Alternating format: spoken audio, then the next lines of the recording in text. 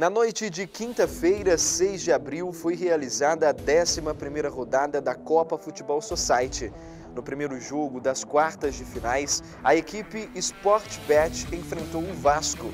Aos 2 minutos e 50 segundos, Lucas Rocha abre o placar para a equipe Sportbet. Aos 14 minutos e 34 segundos, Josivaldo empata a partida, marcando para o Vasco.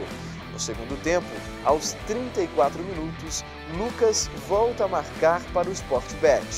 Final de jogo: Sportbet 2, Vasco 1. É um jogo bom, né?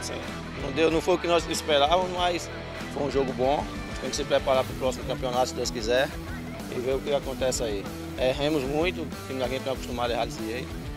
Mas se Deus quiser no próximo, nós vai mais longe aí. Mas quero parabenizar a equipe dos meninos aí, jogou muito e agradecer a minha equipe também.